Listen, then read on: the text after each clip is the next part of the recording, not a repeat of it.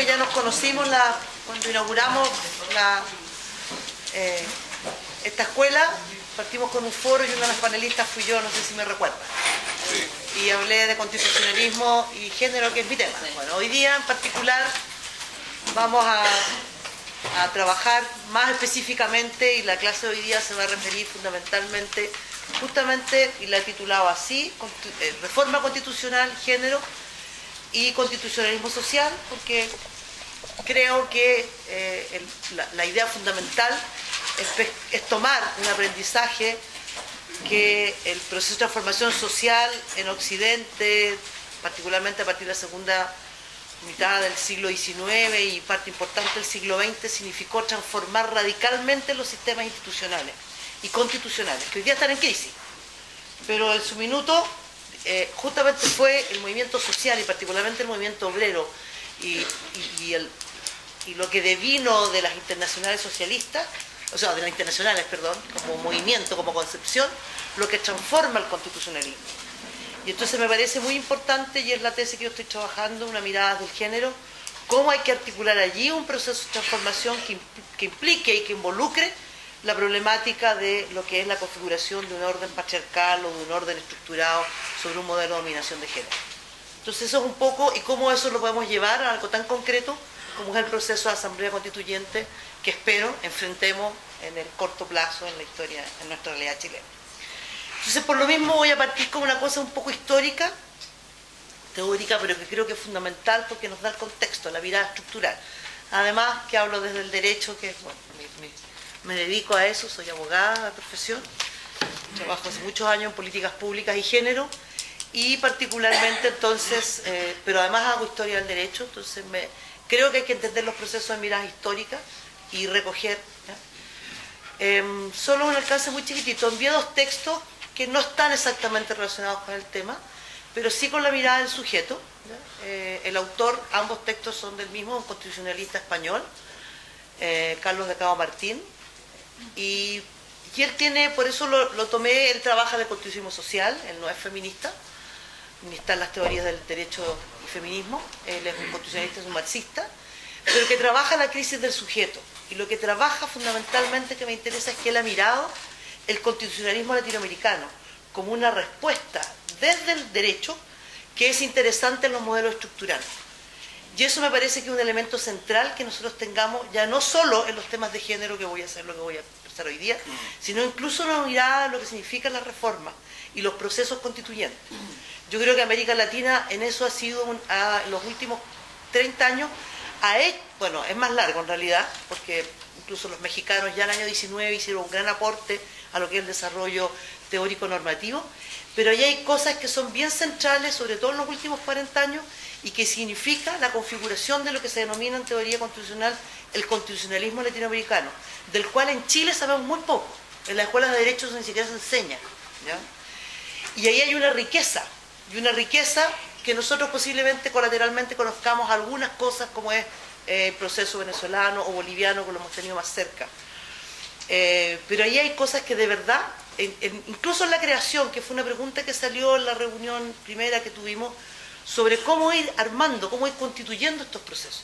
Allí ha sido un proceso bien interesante, entonces eso creo que es un punto que tenemos que tener, que hay que mirar y del cual hay que recoger no solo la experiencia, sino la construcción, incluso teórica y de contenido que allí se hizo, que nos puede aportar mucho, porque desgraciadamente este país generalmente mira hacia Europa hoy día más hacia Estados Unidos incluso, pero no a la propia creación del mundo latinoamericano que en términos incluso teóricos eh, a nivel del derecho y de este debate constitucionalista, hoy día es un debate, aporta en un debate de primera línea.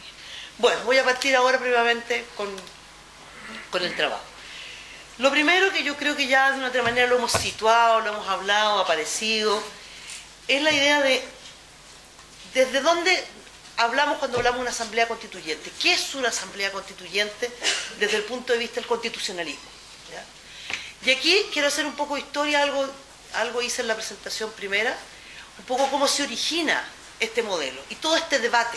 E incluso, ¿y por qué lo tomo? Porque el tema de la igualdad, por ejemplo, la igualdad de género, no podríamos hablarla sino dentro del marco del constitucionalismo, que es un proceso que se inicia en Occidente en eh, fines del siglo XIX, del XVIII, perdón, comienzo del siglo XIX, que tiene que ver con un modelo que se fundamenta en la teoría o en la concepción filosófica del racionalismo, que básicamente sostiene que los seres humanos eh, se plantea un modelo teórico de la idea de un estado de naturaleza, donde vivimos los seres humanos, donde no hay una unidad política de ningún tipo.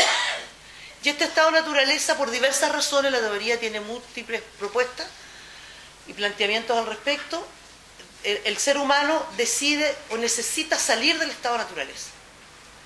Y entonces constituye un orden social político, que se constituye y la finalidad última de ese orden social político que decide construir es la protección de los derechos fundamentales.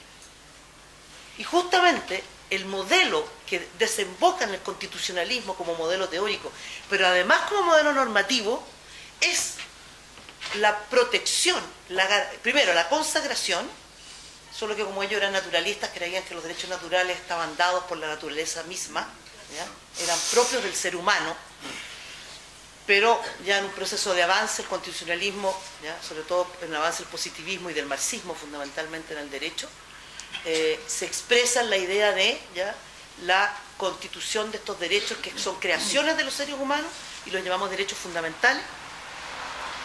Y entonces, al tiro, voy a avanzar y terminar la idea. Fundamentalmente, entonces, el fin fundamental de esta sociedad política que se estructura es la protección de estos derechos. Y por lo tanto, en esta sociedad política lo que se acuerda es el listado de derechos, que en nuestra Constitución es el artículo 19, con todos los bemoles y todas las críticas que le podamos hacer a la Constitución, que es muy mala, la nuestra.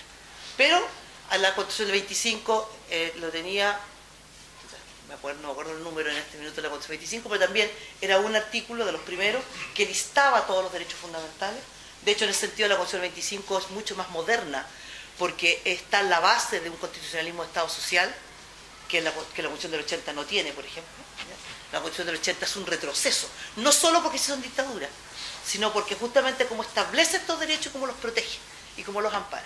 Bueno, vuelvo a la idea. La idea es, un sistema que entonces se consagra, se establece un sistema de garantía y se crea, se regula un orden político y una institucionalidad del orden político y del poder para garantizar esos derechos.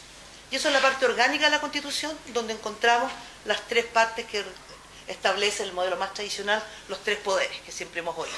Que hoy día son muchos porque se han ido complejizando el sistema y existen estas institucionalidades autónomas o semiautónomas, como son los bancos centrales, por ejemplo, que fijan la política económica en un modelo absolutamente que viene del Banco Mundial, que podremos discutir. Yo creo que todos esos temas son discutibles.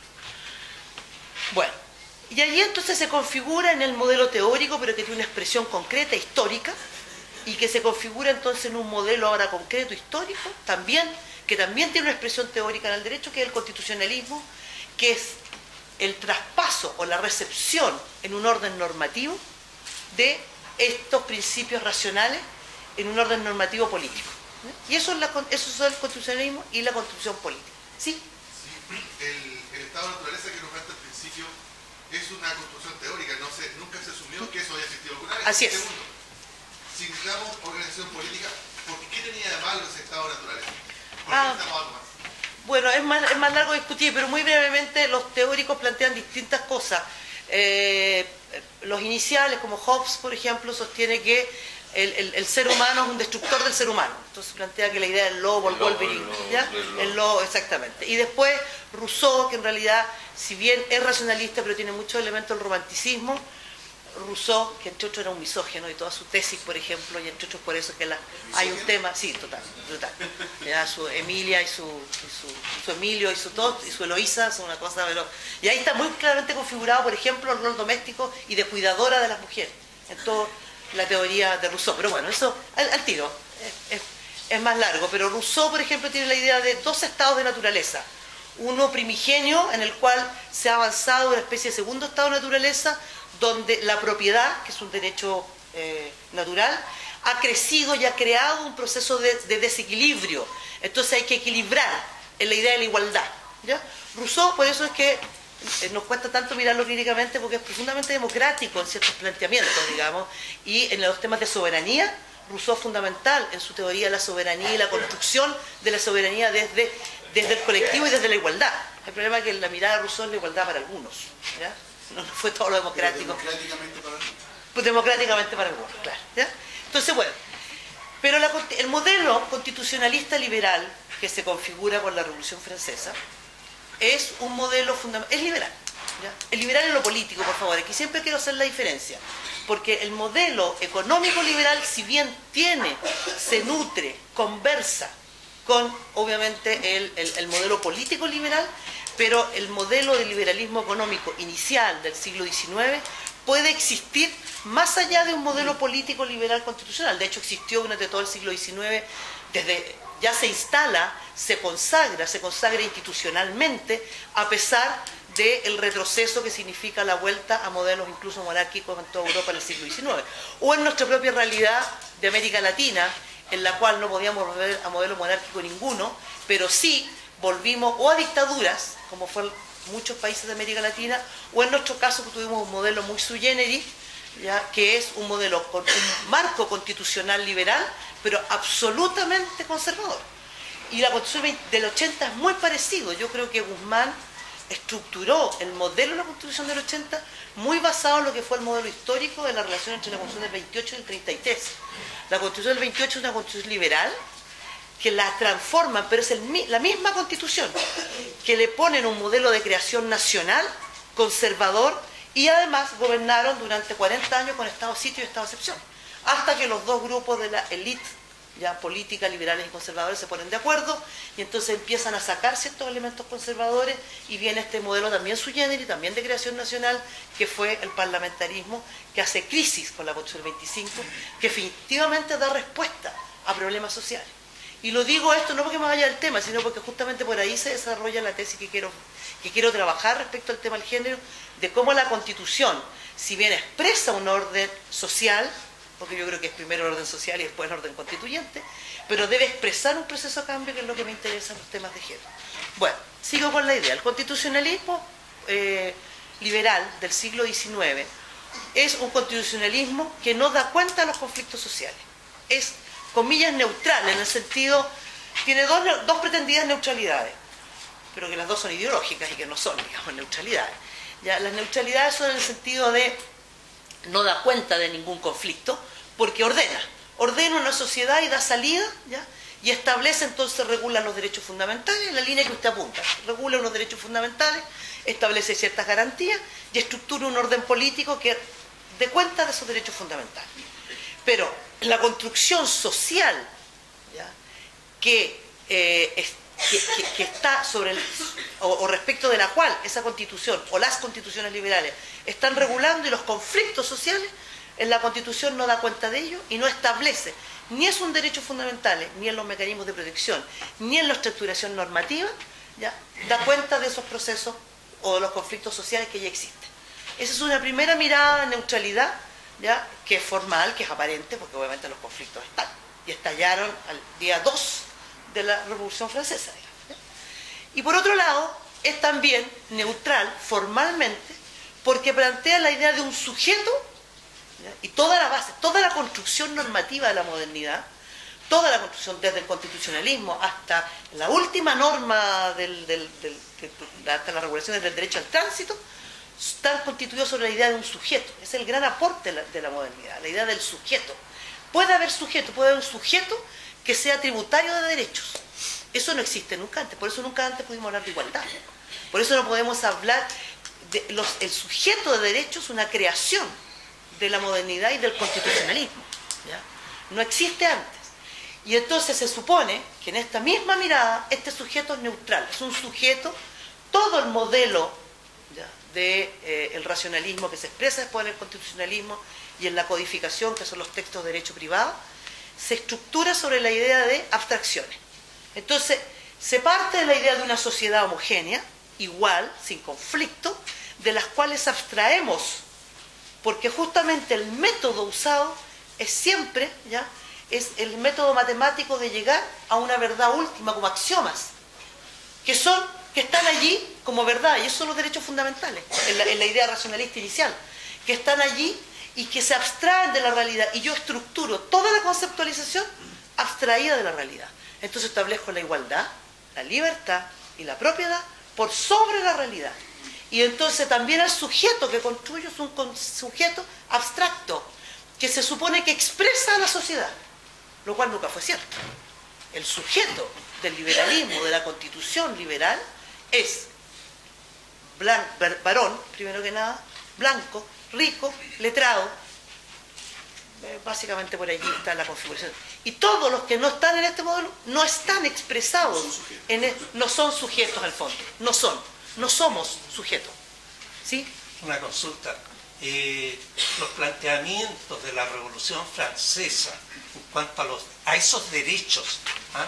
son también una abstracción cuando hablan de libertad, de igualdad y todo eso. Sí, absolutamente, es una abstracción. Todos los modelos son abstractos y por lo mismo en esa realidad, en el modelo liberal, los, los modelos normativos podían ir más allá de la sociedad y podrían cambiar la sociedad en un modelo teórico. Entonces se podía plantear la libertad y tener esclavos. Pero porque después la, constitución iba a modificar. ¿Me explico? Entonces, déjeme seguir un poco porque si no vamos a alargarnos mucho. Bueno. Y como digo, como decía antes, esto al día siguiente de la Revolución Francesa y del proceso. La Revolución Francesa es lo más paradigmático. Si bien antes hubo el, el, proceso de independencia de Estados Unidos y desde el modelo más constitucional, allí ya hay un marco, pero la constitución norteamericana tiene particularidades en su propia historia. Por eso no la recogemos tanto y además en lo que devino posteriormente el modelo, porque ahí sí que tiene una construcción en el desarrollo posterior, porque el modelo norteamericano es una constitución que regula al país, pero cada estado tiene su propia constitución y su propio orden legislativo. Entonces eso es muy tramposo, si ustedes quieren, respecto, porque la constitución es formalmente adecuada o constitucionalmente en un modelo teórico constitucional liberal, es, pero es liberal. Ellos no avanzaron hacia constitucionalismo social, por ejemplo. Eh, pero el problema, si miramos hacia abajo el sustrato, es muy complicado. Entonces, por eso prefiero quedarme solo en el francés, que además sí el mundo europeo avanza su modelo constitucional, a diferencia del norteamericano. Entonces, como les decía, al día 2 el modelo francés o el constitucionalismo implementado en lo que fue el proceso de la Revolución Francesa es gran crisis. Y la primera crisis son las mujeres. Porque el, proceso mismo que, culminó en el hito de la Revolución Francesa, pero que viene de antes y que se desarrolla por los primeros dos, tres años, es un proceso muy transformador donde efectivamente es la sociedad, o sea, el proceso constituyente de configuración, este momento cero teórico que nos puede plantear la idea de un constitucionalismo, de construir la sociedad, la soberanía que plantea Rousseau, eh, se dio. En Francia efectivamente se dio. Y hubo un, los anculó, digamos, no son solo la foto, que no es la foto, el dibujo en este caso, o la imagen gloriosa. Efectivamente el pueblo de París y el pueblo de Francia se constituyen en un proceso de debate y constitución. ¿Ya? Más allá del romanticismo y miradas más menos, digamos, hubo un proceso. Las mujeres tuvieron un rol, tuvieron un rol, los círculos, los clubes, si bien eran muy representativos de ciertos sectores vinculados a mujeres aristócratas, y eso tiene que ver por otra cosa que ya vamos a ver, que es el rol de la mujer en el antiguo sistema, pero hubo, hubo espacio, y hubo espacio incluso de debate en un mundo popular, donde las mujeres tuvieron un rol en este proceso. Y de hecho, tan es así que hay una intelectual francesa que crea, paralelo a los derechos del hombre y el ciudadano, crea el texto que se llama Los derechos de la mujer y la ciudadana. Y eso no es solamente un tema semántico, ella lo constituye porque da cuenta del momento histórico en que las mujeres empiezan a ser excluidas. Entonces dice, un momento, si esto no le damos la, traducción en la otra mitad de la sociedad, no podemos tener realmente este proceso de configuración de lo que es las ideas propias del constitucionalismo en un proceso constituyente. Bueno, ella terminó guillotinada, no por esto, sino por esto, entre otras cosas, digamos. Y de hecho hay una ley que incluso un socialista utópico que la incentiva, que es una ley para prohibir que enseñaran a leer a las mujeres dentro del proceso constituyente francés en los primeros años por Revolución Francesa. Entonces eso da cuenta del proceso y del debate y de cómo esto se va marcando. Ahora, así como he mencionado a las mujeres, obviamente hay otros grandes excluidos que son todos los otros que no son, claro, blancos, ricos, letrados, eh, capaces, que fue lo que no dije antes, pero lo dejé fuera, la capacidad. Y los menores, que están excluidos hasta el día de hoy. Es la única ciudadanía que formalmente no se ha transformado. La demás, afortunadamente, sí, pero formal. Y entonces viene ya la igualdad, es el gran principio tradicional, el gran derecho tradicional. Y además que tiene que ver con la constitución, el proceso racional, del racional, constitucionalismo, en la mirada liberal, obviamente es el desembocante de la transformación de lo que significa el capitalismo y la revolución industrial. Entonces, obviamente los excluidos son los, la articulación de la expresión del trabajo en el conflicto capital-trabajo, en la articulación del proceso del capitalismo, los excluidos. Ah, bueno, además de las mujeres que ya mencioné. Eh, Occidente en ese minuto, el mundo no blanco, por así decirlo, no era un proceso de debate, porque el Occidente era Europa, un chiquitito reducido.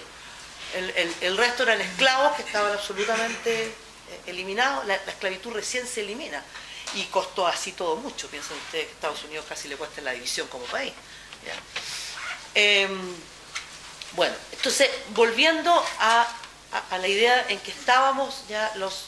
Eh, y allí entonces, esta exclusión implica del sujeto y de la constitución fuera particularmente el mundo de los trabajadores y de este conflicto capital-trabajo, que obviamente también el asalariado como concepto es un concepto nuevo.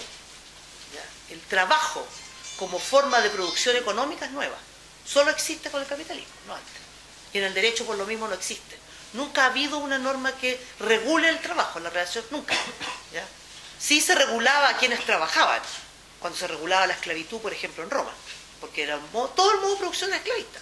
Y los que eran pobres, o sea, los proletarios, de ahí viene el concepto de Roma, los que no tenían más que prole, ¿ya? pero eran romanos y no eran esclavos, no, no, tenían, no había un trabajo asalariado al cual vivir, y por eso el par y circo. Y vivían ¿ya? de lo que les regalaban estos señores ricos romanos en las cortes, o en el lugar más dramático, vendían a sus hijos. Y el derecho romano lo permitía, la venta. El pater podía vender a los hijos. Y era un modo, de ahí viene el concepto de proletario. Pero el concepto como palabra, obviamente el proletario en un sentido desde la revolución industrial, el capitalismo es otro. Y eso es lo que me interesa, que también lo entendamos porque la igualdad solo es posible como concepto a partir, o sea, aquí hay una contradicción. El capitalismo, si bien genera ¿ya? un modelo de dominación y posiblemente, no sé si más brutal porque el esclavismo, pucha que es terrible, pero respecto a las mujeres sí hay una agudización de la forma de dominación, que no es que no haya habido antes, pero se agudiza, ya vamos a ver por qué eh, pero por otro lado, tiene elementos en su propio modelo que hace que sea posible la crítica y la transformación. Y yo creo en eso firmemente. O sea, yo creo que, no sé si dentro del constitucionalismo 100%, pero sí que hay modelos constitucionalistas que permiten efectivamente la transformación del sujeto y la apoderación del el apoderamiento, perdón, de la construcción social y del marco institucional que nos damos como sociedad, ¿ya? en un modelo de proceso de construcción y avance democrático. No como fin último, porque creo que la, historia siempre va cambiando, no sabemos un poco hacia dónde, pero sí por lo menos en esta etapa de transformación y de un modelo efectivamente más liberador, yo creo en eso, y ese, eso está marcando también esta construcción. Bueno, pero aquí vuelvo a lo que es eh, la constitución de la no igualdad. Y entonces básicamente lo que tenemos es el desarrollo del movimiento obrero, que se configura por una parte, por otra parte el desarrollo más teórico de, la concepción eh, socialista, los socialismos utópicos, que más tarde van a desembocar el desarrollo en una vinculación con el movimiento obrero de la transformación de las internacionales, que son muy fundamentales en la construcción de ideas, ¿ya? porque ahí no solo se desarrolla el marxismo, toda la construcción de la teoría de Marx parte en un proceso de aporte al debate de las internacionales. Y ese, por favor, es central porque tiene que ver con que además en el siglo XIX se estructura por primera vez también en Occidente un modo de construcción teórica en el derecho que se alimenta entre sujetos sociales, sujetos históricos, diría Carlos de Cabo Martín, y eh, un ordenamiento jurídico que se estructura en un proceso de configuración. Ya no solo son los teóricos quienes en un proceso de iluminación eh, intelectual elaboran un, corpus normativo. No, aquí hay. Y eso, por ejemplo, en los movimientos mujeres es muy importante. Y los grandes avances de los últimos 50 años tienen que ver también con el desarrollo del movimiento mujeres, pero que transforma, que entre otros recoge este proceso a partir de lo que fue. hoy, día además lo podemos, lo elaboramos teóricamente, esto que yo le estoy diciendo es una construcción teórica o de mirada histórica de los últimos 20 años. Es muy nuevo esto de descubrir lo que implicó el movimiento obrero como construcción teórica del derecho. Bueno, y efectivamente entonces ya viene todo el proceso de avance, que los que estamos aquí creo que por razones personales políticas conocemos más o menos bien, ¿ya? Eh, lo que en Chile tuvo que ver con todo el desarrollo del movimiento obrero y que se expresa en un proceso de construcción y movilización y de, y de, y de cambio, y de, y de cambio y de pugna en el fondo por ser parte de este orden, comillas, democrático, que se instaura en el marco del constitucionalismo. Y entonces viene toda la demanda por los derechos sociales, que se construye, se van construyendo en un quehacer colectivo de movimiento social, que se expresan los movimientos obreros, al cual se le van haciendo aportes teóricos de las distintas miradas teóricas que existen. La más conocida es el marxismo, pero hay otras. El anarquismo tiene su propio proceso de aporte, que también retroalimenta este proceso. Nunca se olviden que Allende aprendió un zapatero anarquista, primero fueron sus primeras lecciones en este proceso. Y ahí también hay un proceso de construcción, porque también hay historias oficiales, también en, los marginados también hay historias oficiales, digamos, y algunas más oficiales que otras. Pero también hay un proceso de construcción. Eh, las mujeres también hicieron un aporte de lo propio en este, las mujeres obreras, en este proceso de debate lo conocemos en Chile, hubo grandes pensadoras, hubo pensadoras liberales, socialistas, ¿ya? Em, como fue Flora Tristán, por ejemplo, peruana, eh, como fue Belén de Zárraga, más adelante, que, ya era socialista, que aporta mucho en este proceso. Y se va justamente en la idea de la construcción. Y ese aparece como una lucha por demandas de derechos, por condiciones laborales, por condiciones de trabajo. Pero ¿qué es lo que se está cuestionando? Este orden institucional, esta construcción de los derechos. Y en ese proceso, en un proceso de diálogo entre el movimiento social y una construcción política, con la creación también de partidos obreros, con las miles de luchas, con la creación de liderazgo y de ruptura y, de conflicto, entonces empieza a configurarse un modelo que implica ir transformando el orden institucional, que va a implicar en lo fundamental como resultado el avance hacia el concepto del Estado social y pasamos de un Estado liberal a un Estado social. Y se crea un orden institucional que da cuenta ya no de un constitucionalismo liberal solamente, sino de un constitucionalismo del Estado social. ¿Y cuándo es eso más o menos? A comienzos del siglo XX, que sigue desarrollándose, no es que ahí se congele y quede eso la primera constitución era la constitución de Weismar, que tal vez posiblemente un alumno me lo corrigió, mi alemán, posiblemente ser muy malo, pero creo que todos nos entendemos. ¿Ya? Que es la constitución que se desarrolla en Alemania en, el periodo entre guerras. Que la mexicana tiene mucho de eso y nuestra constitución de 25 tenía mucho de eso. Dos de los textos que se tuvieron a la vista como eh, fuentes materiales de elaboración es la constitución de Weismar y la constitución mexicana. Y por ejemplo, lo que les decía delante, en los derechos, el derecho propiedad, porque cada, no solo significa, voy a retroceder un minuto, no solo esta idea de la transformación de los derechos fundamentales desde el constitucionalismo social implica nuevos derechos, sino también transformar el orden de los derechos existentes desde el modelo liberal. Entonces vamos a modificar el concepto, o sea, lo que integra la idea de igualdad, entonces se, amplía la noción de igualdad, se amplía la noción de libertad, se amplía y se transforma fundamentalmente el, derecho a propiedad. Y se crea, el, porque existía desde el liberalismo la idea de la utilidad pública, era lo único que se podía limitar, pero ahora existe como la construcción de la propiedad social. Es decir, cuando la sociedad requiere limitar el derecho de propiedad, en virtud del colectivo, de la sociedad en su conjunto. Y, entonces, y eso es un contenido en la norma constituyente, pero que significa todo un correlato normativo. Por ejemplo, no sé, la gente de más años recordará que existía, por ejemplo, toda una legislación en materia de arriendo, ¿ya? que era muy protectora al arrendatario, porque era en la base de la existencia que la propiedad se limitaba en función del derecho a la vivienda. Eso hoy día es impensable. O sea, al contrario, la legislación al contrario rompe eh, y todos los derechos los tiene el arrendador. Todo el rol de la propiedad que podía ser limitado, por ejemplo, los precios. Lo que se llamó la teoría de los resquicios legales, que la inventó un gran abogado de la Escuela de Derecho de la Universidad de Chile, eh, que fue la que permitió establecer todo el derecho de propiedad y del, rol social de la empresa, y que fue la base de la expropiación durante la Unidad Popular, se basó justamente en este rol social de la propiedad de la Constitución del 25, que se había recogido y utilizado en, los llamados, en la República Socialista los 100 días. Y esa legislación quedó vigente y es la que toma Novoa Monreal, que es este abogado que yo comenté, y que logra llegar. Voy a terminar una última idea, le doy la palabra y dos pedidas. Y quiero decir entonces de nuevo, yo estaba diciendo, delante cuando me fui, eh, cuando volví por el margen, en la idea de eh, cómo esta construcción, ¿ya?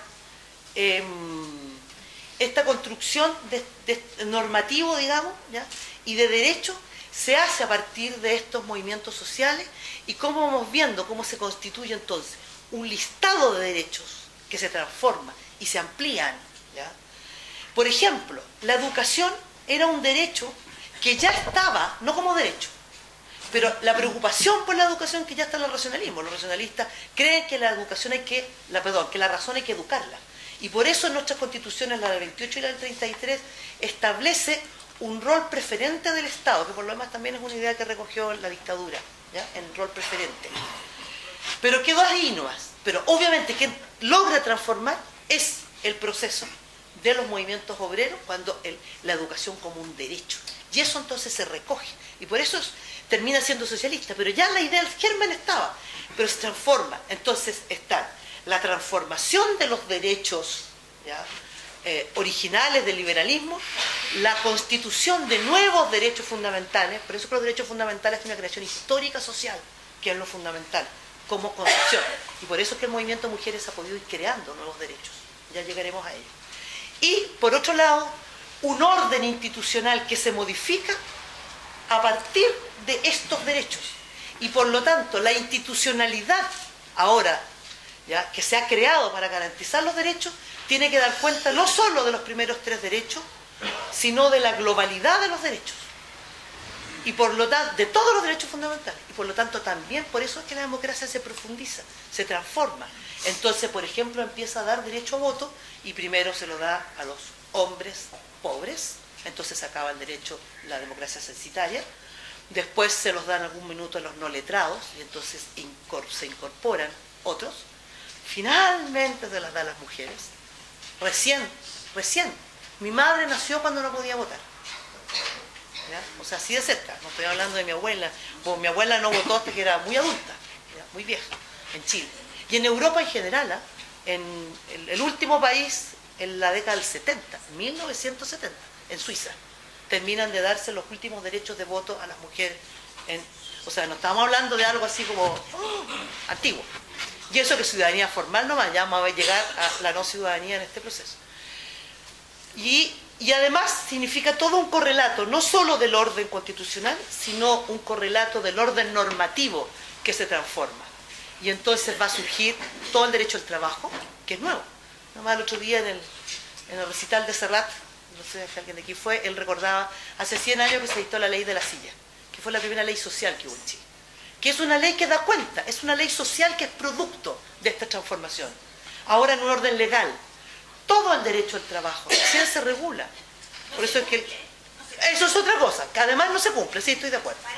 Y, y allí toda la legislación social, que inicialmente está vinculado solo al trabajo porque da cuenta de este conflicto capital-trabajo, pero cuando en la mirada de la construcción el Estado social avanza, que eso, que eso es posterior a la Segunda Guerra Mundial, y entonces ya no solo se trata de resolver el conflicto capital-trabajo en el trabajo, el trabajador empresario, sino también del conflicto ahora capital-trabajo, una mirada del orden económico, entonces viene toda la seguridad social vinculado a un Estado que protege y garantiza como seguridad social.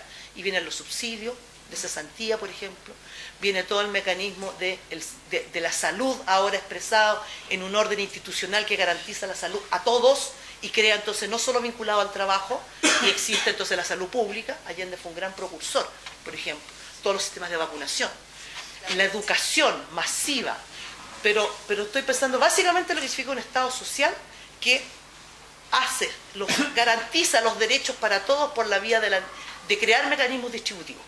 No es que resuelva el tema. La leche también. Por ejemplo, que se hizo años después. Pero aquí de nuevo vemos, y aquí voy a terminar para dar las dos preguntas, cómo en este modelo y en lo que hubo de construcción de Estado social, las mujeres nuevamente fuimos las grandes ausentes. Es cierto que en este proceso y en este contexto logramos la ciudadanía formal y el derecho a voto. Y pudimos votar y ser ciudadanas. Pero los temas de fondo, que ya vamos a ver cuáles son, que son la estructuración del orden, así como el constitucionalismo social se hace cargo de este conflicto capital-trabajo o del conflicto base del capitalismo, que no es que lo resuelva, digo que lo toma, lo mira, el conflicto del patriarcado, del orden social en que las mujeres viven un modelo de subordinación y del orden social que estructura a las mujeres en un lugar social y con un rol social, eso el Estado social no lo mira. Es más, se convierte en un proveedor de las mujeres. Y entonces, yo hoy día hice un gran debate que existe en política pública. Las grandes usuarias de todos los, de, un conjunto de subsidios, más allá del debate de lo que son los subsidios, cómo están estructurados, que son absolutamente liberales o neoliberales, digamos. Eh, además ahí hay un tema de retroceso, pero ese es otro, otro, otro punto de vista. Los bonos, por ejemplo, todo el subsidio, el subsidio a la demanda, todo esto que es un horror, que es parte del debate de la educación, es terrible. Pero bueno, más allá de eso, las mujeres entonces empiezan, pasan en la lógica de un mundo masculino proveedor a un Estado proveedor. Las norteamericanas han estudiado mucho esto. Pero no hay una construcción de sujeto. Este Estado liberal, ah bueno, me quedó la idea del sujeto. El sujeto, que había sido constituido en el constitucionalismo liberal, varón, blanco, rico, letrado, no cambia, sigue siendo igual. Todas las transformaciones y la extensión formal de ciudadanía que incluso llega a las mujeres, que llega a los pobres, a los iletrados, que llega incluso a los discapacitados, pero es formal, porque la, configuración y la estructuración del modelo en la base no cambia, sigue siendo igual. Y por eso es que todos los actores que no somos varones, blancos, ricos, letrados, eh, eh, capaces, tenemos que pugnar día a día por estar, unos más que otros. Y eso responde a tu pregunta, David, más complejamente la idea del Estado de Derecho. Claro, mientras este Estado de Derecho y el modelo siga construido sobre una constitución de sujetos que es excluyente y, por lo tanto todo el orden se configura de un sujeto que es excluyente, obviamente que no avanzamos. Obviamente que la democracia y el Estado de Derecho siempre es respecto de los que son, detentan, están expresados. En, desde el derecho hablamos del sujeto, pero en el fondo son desde los que configuran el poder, la estructuración del poder que se expresa en un el, derecho es expresión de un orden, de un orden social que está configurado. Y mientras no transformemos eso, es muy difícil. Por eso es que los procesos constituyentes son fundamentales, pero como constituyentes no formales, sino como expresión de un proceso democrático. Y como expresión de lo que son los movimientos sociales. Y los partidos políticos, en tanto, están vinculados a esos movimientos sociales, como expresión de ellos. Si no, eh, esto no avanza y quedan en reformas formales como la que estamos viendo. Y entonces, claro, en esta idea del sujeto, vuelvo al sujeto, ahora, a los hombres aquí les fue mejor. Es cierto que el grueso no está expresado porque la, matriz no ha sido modificada lo sustancial, pero al menos, como son varones y el varón, aunque sea el varón blanco, está expresado, sí hay una realidad distinta respecto a las mujeres, porque las mujeres no estamos ni siquiera expresadas. Y solo empezamos a aparecer como sujetos como el otro, las otras la alteridad. Y entonces empezamos a aparecer en un orden normativo que regula aquello que no cabe. Entonces aparece la maternidad regulada desde la maternidad y de nuestro rol de cuidadoras de maternidad. ¿ya? O sea, la mujer pasa a ser algo cuando es madre. Está por lo mismo, porque es lo que no está en el sujeto, porque eso es lo que, comillas, nos hace distinta. Ahora, nosotros somos tan madre como padre. Nuestra única diferencia es que nos embarazamos y parimos. Hasta ahí llega la, la diferencia. Todo lo demás podría ser igual. Pero eso nos determina. Y entonces en el derecho laboral, por ejemplo, entramos toda la protección a la maternidad, en realidad es una protección al hijo y como sujeto, hijo hija, las mujeres en realidad, y esta situación pasa a ser una situación que es una barrera de ingreso a las mujeres al mercado de trabajo. Y refuerza este rol de constitución de cuidadoras que ya vamos a ver, por ejemplo. Toda la estructura del sistema de seguridad social está hecho sobre la base de ser proveedora respecto a las mujeres, lo que explicaba antes. No cambia. Ahora, obviamente a las mujeres esto nos cuestiona mucho, porque en general nuestro rol de maternidad, como es el rol social fundamental, lo vivimos con una fuerza. Es más, por ejemplo, la legislación nuestra en materia de, permisos parentales establece permisos parentales, pero dice que la madre elige. Siempre eligen las madres. Es decir, una madre no se atrevería nunca a decirle al padre, hazte cargo tú del permiso parental. Se, tiene culpa, tiene miedo, siente que está cuestionada como ser humano, todo junto. Y la propia sociedad la obliga a ser ella la que elija. Y por lo tanto entonces los empleadores dicen, no, las mujeres son más caras, faltan, usan permiso, son parentales. Bueno, por ejemplo, este orden social siempre como la otra. Bueno, voy a volver ahora a, si sigo en mi orden, ya brevemente también una inquisición teórica, pero que no es teórica, es histórica, de cómo sucedió este orden del, constitucionalismo respecto a las mujeres. Ya les expliqué como sujeto no quedamos vinculadas, pero a las mujeres nos pasó un tema más grave todavía. En, en el antiguo, antes de, de- la modernidad, siglo XVIII hacia atrás. Eh, en el antiguo Estado, en el antiguo régimen, las mujeres estábamos vinculadas fundamentalmente a la familia. De hecho, la historia en general, ¿ya? por lo menos en Occidente, que es lo que yo conozco. Del resto no me atrevo a hablar porque no sé. ¿ya? Eh, eh, hay un trabajo bastante interesante de una escuela francesa, que es la historia de las mujeres, que nos permite mirar cómo se constituyó desde Grecia hasta hoy día. Ha estado muy vinculada a la familia. ¿ya? Y hay una estructura de patriarcalidad que se expresa en la familia y en el rol de las mujeres dentro del orden patriarcal. Incluso los griegos, ¿ya? la idea de oikos, casa, es lo doméstico. Y lo doméstico es lo que se necesita para la vida. Y son las mujeres, los niños y los esclavos, porque permiten la manutención. Por eso en Chochos que los, em- los empleados serviles nunca tuvieron ciudadanía. ¿ya? En, el modelo de la modernidad nunca tienen ciudadanía. Incluso cuando se extiende la ciudadanía a quienes trabajan. ¿ya? Eh, pero no se permite la ciudadanía liberal, por ejemplo, en Chile, en la Constitución del 28, bastaba tener un oficio para ser ciudadano, salvo los que eran trabajaban como servidumbre doméstica, porque viene de esta configuración, del oikos, de la familia. Y siempre ha sido un orden patriarcal respecto a las mujeres, siempre, eso es cierto. Pero la familia, en distintas etapas, y voy a hablar particularmente por lo que está configurado en el feudalismo, tenía un rol económico y político. Era parte de la estructura política económica de la sociedad. Tan es así que en la configuración básica del tomismo, la estructura del Estado se arma a partir de la unidad básica que es la familia, que en un proceso de complejización, creando órdenes más o menos grandes, pero siempre a partir de la estructura familiar, llega a un orden que suma a todas estas familias, que es el Estado con el pater familia que tiene mayor liderazgo que es el monarca. Ese es el concepto. Pero la familia es la base del orden político, ¿me explico? Y es la base del orden económico. Y por lo tanto, si bien las mujeres tenían una realidad de subordinación dentro de la familia, pero como el espacio donde estaban asignadas socialmente tenía un rol social y político, las mujeres podían tener eventualmente un rol social y político. Menor, pero podían tener. Y por eso es que, y como ahí la sociedad estaba ordenada estamentalmente, en los estamentos nobiliarios, podía incluso llegar una mujer a tener algún rol, y hubo reinas, muy masculinas, es otro tema, pero hubo reinas. ¿ya? Y podían incluso dirigir algunas cosas, y hubo. ¿ya? Eh, había capacidad, porque tenían, en la economía, las mujeres producían de lo que vivían. Eso está bastante estudiado, estos estudios de historias de género ha logrado, porque la familia en tanto tenía un rol base con la economía, y ellas tenían un rol doméstico, pero dentro de esta familia con un rol económico, en la sociedad. ¿ya?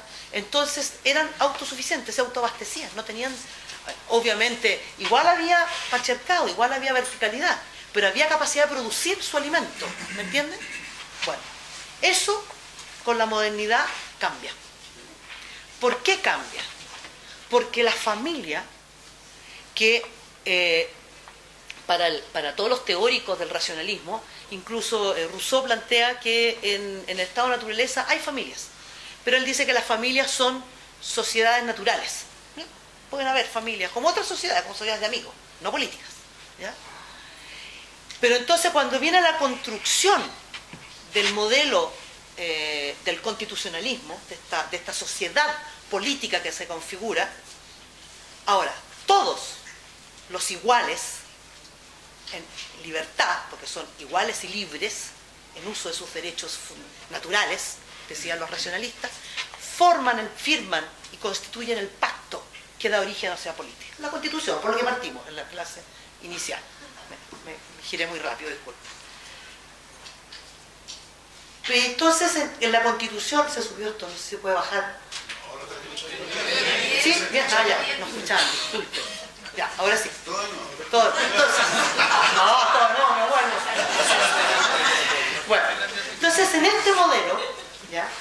la familia, en la constitución de la sociedad política, la familia no pasa a ser parte de la sociedad política, porque construimos un modelo para garantizar los derechos, todos aquellos que construimos el pacto y constituimos un modelo social donde todos somos iguales. Sociedad política con la esfera pública, que regula también, el, marco donde se estructura la esfera privada, que es la esfera de la economía. Pero de paso se constituye otra esfera privada, de la cual ni siquiera se habla, ni siquiera existe, que es la esfera privada doméstica, donde se establece la familia como organización. Entonces, organización social, sin fines políticos, pero que no cambia, se toma la misma concepción familiar, es decir, la misma concepción patriarcal, vertical, donde la mujer en este modelo loicos griego es parte de lo que necesita para la construcción junto con los criados, por eso es que nunca tuvieron ciudadanía, ni criados ni mujeres, pero constituyen la esfera privada y nunca son parte de la esfera pública. Y no son ciudadanas, no tienen derecho. Y su constitución de ser humano, porque no es que les nieguen la condición de ser humano, ¿ya? no son sujetos en la idea del sujeto constituyente sociedad, de derecho, exactamente. No son sujetos de derecho, pero sí son seres humanos, pero están constituidos en la familia. Familia que está en este ámbito privado, doméstico, donde se articula como, como persona social, ¿ya? me gusta igual hablar de sujeto, pero puede confundir, por eso, como persona social, se construye su modelo, su rol, y además la familia pierde todo, la, todo el rol que tenía político y todo el rol económico. Hay una frase que tiene una teórica eh, feminista que dice, en, en el concepto de esto de la transformación del modelo patriarcal que estructura el Estado en el antiguo régimen al modelo de igualdad, de la fraternidad, dice, los hermanos mataron al pater. Pero el problema es que en este modelo, entonces, los hermanos mataron al padre. Claro, como rol político. Porque la familia pasa a ser, no tiene ningún rol político y la jefatura del pater es solo respecto de su familia. Es solo en este ámbito privado, doméstico. Pero en el mundo público, la igualdad. ¿Pero para quiénes? Para los que son sujetos, sujetos de derecho. Y entonces, por eso es que las mujeres en el modelo no solo no fuimos iguales, sino que eso poco que había dentro de un orden también patriarcal, pero perdimos, perdimos, las mujeres nunca más participaron en la economía. La familia dejó de tener un rol de economía. No es, no tiene. La familia campesina, un poco autosubsistencia, pero mínimo, absolutamente mínimo. De la chacrita básica, pero que no logra ser la autosubsistencia. El recurso, porque hoy día base, la base de todo el modelo es el trabajo. La autosubsistencia del modelo capitalista está dado, Marx lo explicó ya largamente, no va a meter en eso, en la compra de la fuerza de trabajo, que es la forma de obtener el dinero en la autosubsistencia. Y las mujeres no son parte de este modelo. Y entonces quedan circunscritas a esta esfera privada doméstica.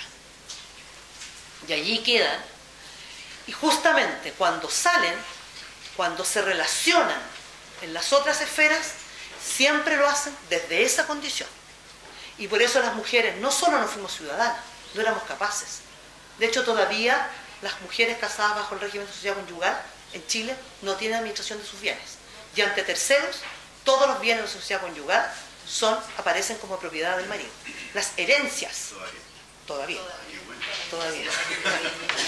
Las herencias, es más, esto es muy complejo porque uno podría decir, por ejemplo, por ejemplo, nos casamos bajo división, bajo separación, el régimen de separación de bienes. Todo el sistema, por ejemplo, de crédito hipotecario, el sistema bancario hipotecario, estructura de modo que finalmente termina configurando la propiedad para los hombres que compran, aunque tengan sociedad, aunque sean los dos. Solo muy pocos, y, en casos muy especiales, esto yo lo, lo he estado mirando, realmente da respuesta a la idea de igualdad en materia de propiedad. Pero el artículo 150... Eh, pero no lo reconocen. Los bancos no. Porque, pero eso es solo respecto a los que están casados en sociedad conyugal, pero no respecto a los que están casados en separación de bienes. Y no es más largo, no me voy a en eso, por favor, después lo ven. Solo estoy dando como ejemplo para que miren. Es todo el tema, por ejemplo, lo que es más grave, en materia de vivienda social. Y lo cual era muy grave en vivienda social mientras no hubo divorcio en Chile. Las familias se separaban, de hecho, los pobres además no podían anular, porque los pobres llegaban ya a la, Corporación de Asistencia Judicial, que no tomaba los casos de nulidad porque todos sabían que era un fraude, entonces los pobres no podían anularse y estaban casados per secula seculorum hasta que se muriera. Por eso es que en Chile hubo muchos muertos presuntos. Paréntesis. Echa la ley, echa la trampa. Muertos presuntos. hasta, aquí, hasta hubo registro electoral. Porque ahí nunca más. ¿ya? Pero fue una trampa espantosa. Bueno, porque no había otra forma. Los pobres no podían. No había cómo anularles el matrimonio. Y entonces las mujeres. Eh, porque generalmente era la familia, entonces se le asignaba al pater families y se le asignaba la vivienda social y las mujeres después divorciadas perdían la casa y no tenían cómo postular nuevamente el subsidio. Eso se ha modificado, pero se ha modificado bien en una interpretación legal, no está cambiado en el fondo. Bueno, pero volvamos a lo que me interesa, ¿ya? a esta mirada estructurante. Entonces, como yo solo voy dando ejemplos para que veamos cómo se va ¿ya? estableciendo. Entonces hay un orden de discriminación que es estructural, del cual el derecho nos da cuenta. Porque en este proceso las mujeres, no es que nos hayamos quedado pegadas, ya les mencioné a Olympe de Bourguier, creo que se pronuncia el apellido de ella, que es esta francesa que hizo la Declaración de Derechos de la Mujer y la Ciudadana, eh, toda la, la, gran pelea dentro del movimiento obrero de las mujeres por sus condiciones de trabajo, toda la gran pelea de las mujeres por el derecho al voto, a la igualdad, a la educación. Piensen ustedes que en Chile la primera médico iba a las clases de anatomía y la colocaban detrás de un biombo, con un tutor. Y hubo que dictar un decreto para que ella pudiera estudiar medicina, en Luisa Díaz. ah, 1870 y... Marisa, ¿te acuerdas tú? ¿78? 1878. Bueno, el hecho es que en, esta realidad las mujeres van configurando, pero ¿cuál es la gran pelea de las mujeres? Por la igualdad. Y viene toda la transformación y la pelea de la igualdad. Y se va avanzando, se logra, se logra el derecho a la educación para las mujeres, se logra, vienen las normas de regulación del trabajo, las mujeres tenían que pedir permiso al hombre, a su marido para trabajar, porque no tenían, porque eran relativamente incapaces. En Francia eso se acabó, en Francia, en la década del 70 no estamos hablando de, del 1800, estamos hablando del 1900. Bueno. ¿Eso es actual en el campo? ¿Tú sales de aquí, llegas a, ¿Ah, sí? a Malco? Sí. O sea, no solo en el campo. En toda la realidad este en este país yo trabajo en, en, en, políticas públicas, capacitación para mujeres para el trabajo. el gran problema es que sus parejas ¿ya? Eh, no las dejan ir a estudiar. No las dejan ir a estudiar. Entonces hay un acto ahí de, que tiene que ver con esto, justamente. ¿Ya? Bueno.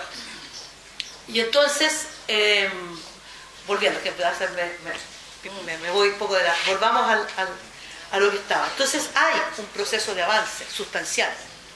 Pero este proceso no, no transforma, no mira estos nudos centrales que están establecidos en la idea de la noción de sujeto, de la constitución de los derechos. Eso es un proceso que recién, en la década del 60, el movimiento feminista, y aquí es muy importante, de nuevo, como vemos, cómo se estructura a partir del movimiento de mujeres, que si bien existe desde mucho antes, pero aquí empieza a configurar un planteamiento teórico, teórico propio. Ya, tiene algunos elementos a partir del derecho a voto, eh, hay algunas construcciones interesantes en el siglo XIX, los norteamericanos tienen un par de cosas ahí interesantes, pero va a ser el movimiento de mujeres en la década del 60, en este proceso tan libertario y transformador, en que van a empezar a, plantear y a mirar justamente la constitución del sujeto, pero desde el sujeto, no del individuo, sino del sujeto colectivo. Y aquí podemos hablar, yo hablo del sujeto mujeres, porque no hay un solo sujeto mujer, porque aquí tengo que hacerme cargo del multiculturalismo. No voy a llegar a la posmodernidad y la multiplicidad del sujeto porque es muy complejo, pero sí, no hay una sola mujer, somos muchas, tenemos múltiples realidades. Las mujeres indígenas, también muy machacadas, también hay una estructura gruesa de un orden social que las afecta como mujeres, pero además tiene una realidad particular de mujeres indígenas propias la mujer campesina, por ejemplo, las mujeres negras. Este debate parte en Estados Unidos fundamentalmente a partir de las mujeres negras chicanas dentro del movimiento, negras y chicanas, que son dos realidades sociales propias, culturales y raciales en el caso, bueno, las chicanas también es racial porque son latinoamericanas. Y ellas entonces empiezan dentro del movimiento feminista a plantear la idea de no un sujeto, que también es una crítica, una mirada de lo que son los planteamientos desde una izquierda más tradicional a la mirada del sujeto, del sujeto obrero, ya el proletario, el transformador. Entonces no es la idea del sujeto masculino eh, solo excluido por el factor del, capitalismo, digamos, del trabajo, la relación capital-trabajo, o solo la mujer en la exclusión patriarcal. Es mucho más complejo y por eso se hace más difícil. No es, no es simple, no llegar y cambiar y por eso que tiene que ver mucho con la construcción desde el movimiento social, que es fundamental, porque esa expresión de lo que a nosotros como sujetas, en este caso desde las mujeres, nos pasa y desde nuestra propia realidad. Y entonces, al tiro, ¿qué es lo que empieza a plantear en esta idea del sujeto y de la construcción? Entonces, ¿cómo vamos transformando y mirando? ¿Qué vamos mirando? Se va mirando entonces esta esfera privada doméstica, donde está socializada la mujer, y vemos cómo se estructura un orden social a partir de ello, y cómo se ordena la sociedad a partir de ello, y cómo allí está el origen y manifestación de un orden de subordinación, en que las mujeres vivimos subordinación, en que se expresan muchas cosas. Sí. De ahí viene el Día de la Mujer, eh, cuando en Nueva York eh, murieron quemadas ochenta y tantas mujeres por el hecho de que las dejaban encerradas para que no fueran a protestar. Y se produjo un incendio y muchas mujeres murieron eh, quemadas y también porque se tiraban porque estaban encerradas. Y era por, eh, las mujeres exigían menos horas de trabajo y la maternidad también, que tampoco era un derecho. Obviamente, todavía las encierran. Y todavía... En patronato, todavía las mujeres que trabajan en maquila. Y no solamente en Estados Unidos, por lo no, no, que en Chile estoy diciendo. Y las encierran y las matan como Juárez, a propósito del tema. Pero si estamos en la hora, ya, estamos en la hora, entonces voy a parar aquí para seguir y avanzar con las mujeres. Y avancemos.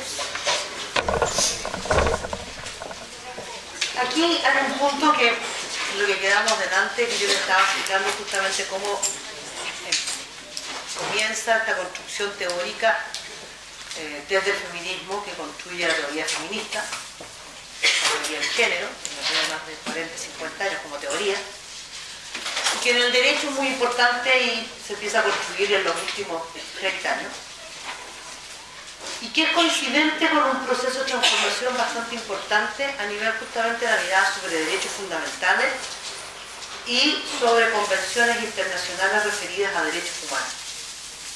Justamente aquí vemos cómo en este proceso se va construyendo a partir de lo que es la propia experiencia de las mujeres en su, construcción de movimiento y en su lucha por cambiar las condiciones de vida de las mujeres, cómo se van construyendo conceptualidades que dan cuenta de una realidad que el derecho no resuelve y que el constitucionalismo no, tampoco resuelve.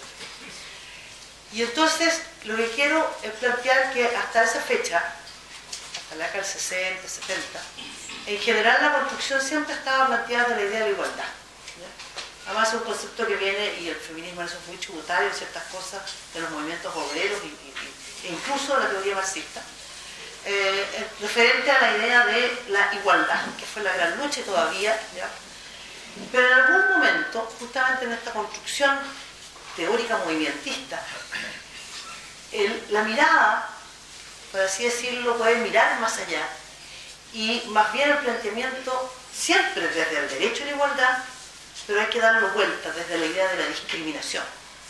Entonces el planteamiento, más que lograr la igualdad, porque la igualdad es imposible, es la igualdad es identidad, es la idea de la no discriminación justamente respecto de la titularidad, ejercicio y garantía de los derechos fundamentales. Pero esa no discriminación significa que necesariamente tenemos que mirar el orden social y tenemos que mirar cuáles son los elementos de esta discriminación estructural, porque aquí, y eso es una aporte central de la teoría feminista desde el movimiento, es la construcción de un orden social que establece un orden de sujeción de las mujeres a esta esfera privada doméstica. Y digo privada doméstica y no privada familiar, porque la familia tiene un concepto muy complejo. Hablamos de familia, la familia nos vamos a la mirada legal. Eh, ahora, cuando hablamos de lo doméstico, estamos hablando del espacio de socialización, lo podría ser como la idea del hogar, que es la familia. Y que la familia es un espacio vertical, pero no necesariamente la familia en un sentido legal. Incluso hay una definición muy interesante que da una autora, ella es islandesa, pero ha enseñado toda su vida en, Suecia, Juana Bastard. Así pronunció el apellido, no sé mucho cómo se, se pronunciará exactamente. Eh, ¿Qué le importa el sexo, el género? Trabaja ella, ¿qué le importa la idea del, derecho? Y entonces ella mira la el, el matrimonio incluso, como concepto, como la alianza hombre y la plantea como un espacio de, asignación de derechos y subordinaciones. Y yo creo que efectivamente esta autora tiene mucha razón.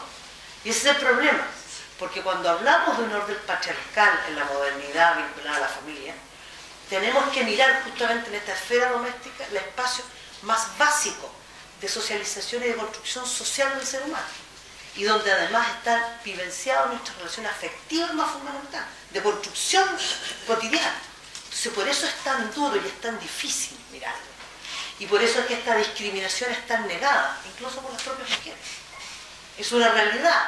Hay otras discriminaciones que se nos hacen evidentes, pero esta no porque está construyendo un orden social que está absolutamente vinculado a un tema que es muy dramático, que tiene que ver con la relación básica afectiva de la construcción de pareja y con la construcción de los afectos fundamentales de esta base que llamémosle familia, como queramos llamarle, en esta construcción colectivo-social.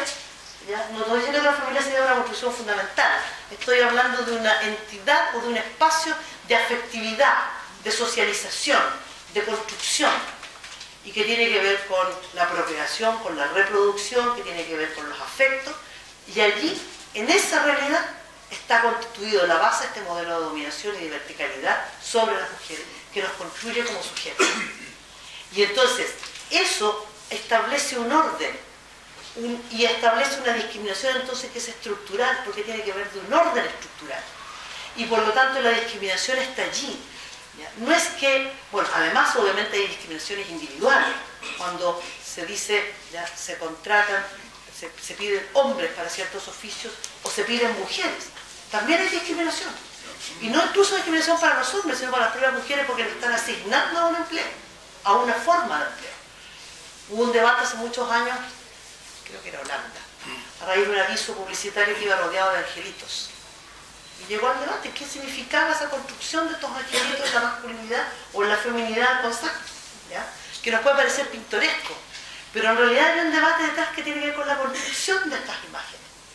Y entonces el problema es esa socialización y ese orden que hace un orden social y que obviamente el derecho expresa esto, sea, si el sujeto no está considerado, si el orden social, si la ciudadanía se configura a partir de un orden público, donde las mujeres no existimos.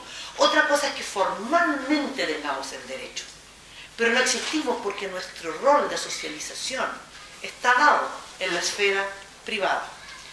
¿Y cuáles son esos elementos? Yo he anotado lo siguiente, pero lo voy a mirar desde la no ciudadanía, de este orden estructural que configura una discriminación estructural, que es el concepto que construye la teoría feminista y que se expresa en el derecho. Ya vamos a ver cómo y cómo llegamos a la Constitución, si todo esto puede llegar a las transformaciones constitucionales. Bueno, primero lo que ya he mencionado varias veces, la articulación como sujeto, las mujeres, a partir de este ámbito doméstico privado. Entonces nuestra constitución, nuestra definición de ser social está definida a partir del ámbito doméstico privado y por lo tanto ya nuestra relación con los otros, con las otras, con los otros, está definida a partir de esta realidad. Nuestra definición o nuestra relación con los otros órdenes sociales, el orden, la esfera privada, la economía, el trabajo, la esfera privada, perdón, la esfera pública, lo político, pero lo político en un sentido amplio, no solo como ejercicio de derechos, no solo votar. El ejercicio de ciudadanía es el ejercicio de derechos, que son todos los derechos sociales. Otra cosa es que nuestros derechos estén reconocidos limitadamente. Perdón, no son los derechos sociales, son todos los derechos fundamentales. Entonces, el ejercicio de ciudadanía es el ejercicio de los derechos, de todos los derechos fundamentales.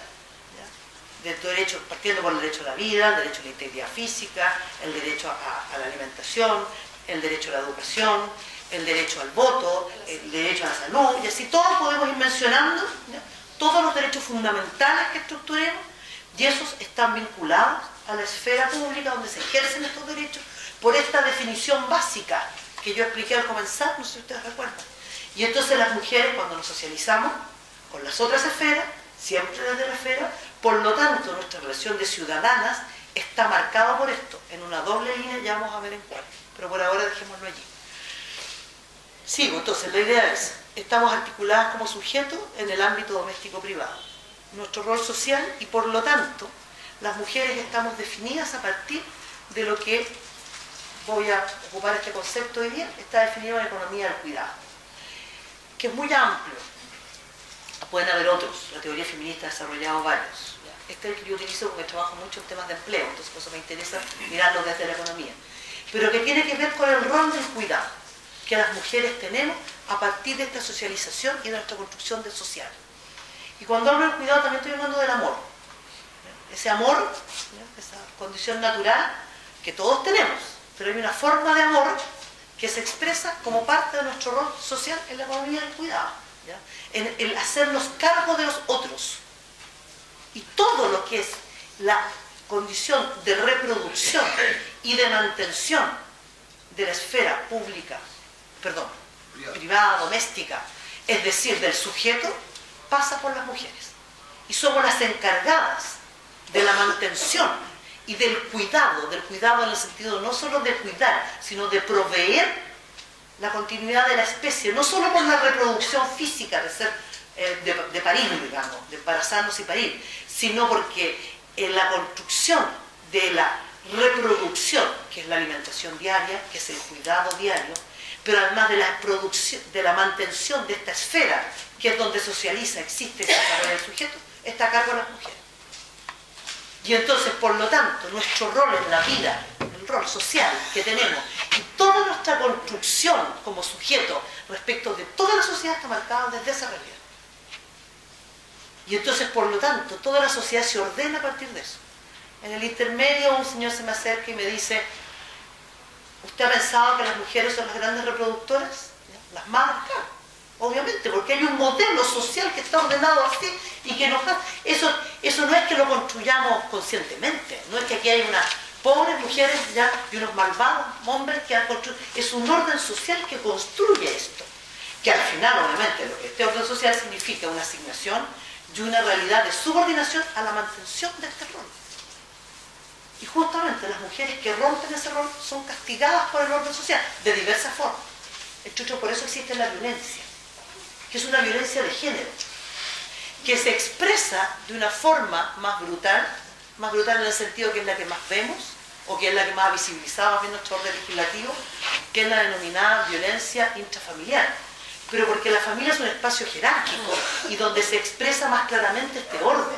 Por eso allá hay tanta violencia de género, pero es violencia de género. Que hay otras, ya voy, hay otras violencias en el hogar, sí, en la familia, Sí, porque la familia es un espacio jerárquico, siempre, por más democrática que sea. Porque es una construcción eh, más allá de uno, no sé si me logran entender la idea, porque obviamente uno siempre tiende a mirar a su familia. Y dice, no, pero yo, sí, uno puede ser, conversar, puede tener espacios de horizontalidad, pero el orden, finalmente es como esta idea de, esta obra, el gran teatro del mundo, finalmente todos tenemos un rol, hay un telón que está puesto, y una función, y unos roles, y esos roles los tomamos, los tomamos en un modelo de construcción cotidiana y social. Y entonces, la mujer está marcada desde este constructo, desde este espacio, que la determina en una función. Y eso se expresa en todo lo y en su ciudadanía, que es lo que vamos a ir viendo. Y allí, en este espacio y en esta construcción, lo que ya dije, pero quiero afirmarlo, es la idea de el modelo de subordinación se expresa enteramente. Y a partir de allí se construye toda la discriminación estructural que afecta a las mujeres. Y aquí quiero hacer un paréntesis para vincularlo con mi gran relato que hice delante, que no, fue, no lo hice porque quería contar el movimiento obrero, ni la capacidad de transformación, sino porque justamente, eh, que no lo dije adelante, pero el proceso de transformación y de constitución del constitucionalismo social, de los derechos sociales, de la transformación de los derechos fundamentales, no solo los sociales, sino también los políticos. ¿ya? Eh, perdón, no solo los sociales, sino también los políticos, de todos los derechos fundamentales.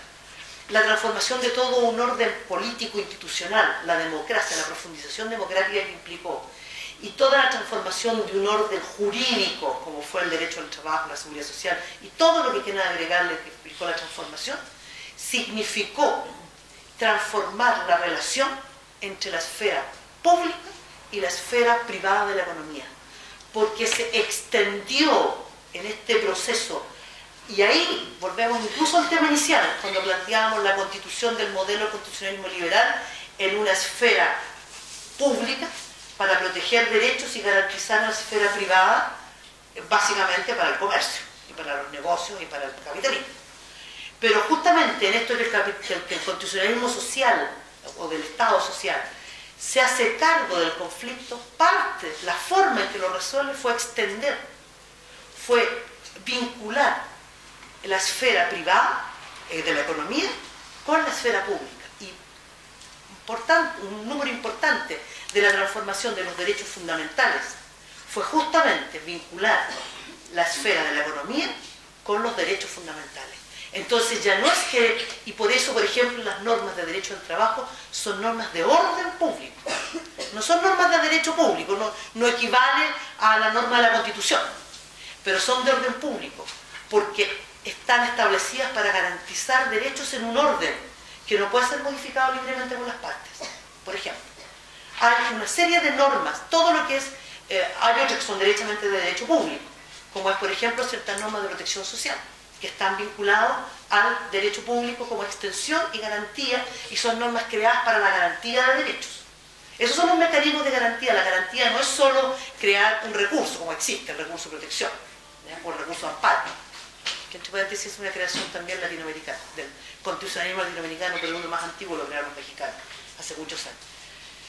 Eh, como digo, no solo es crear recursos, también es una institucionalidad, es un, es un correlato de derechos en, por ejemplo, un rango legal de órdenes jurídicos que están establecidos para garantizar toda la seguridad social, todo el derecho al trabajo, lo que garantiza justamente es parte del derecho a la vida, el derecho a la integridad física, el derecho a la libertad y el derecho a la igualdad, por ejemplo. Y son garantías a esos derechos. Vuelvo ahora a lo que estaba en el espacio la esfera privada doméstica. Esta esfera privada doméstica, hasta ahora, salvo en circunstancias muy puntuales, no ha sido vinculada a la esfera pública.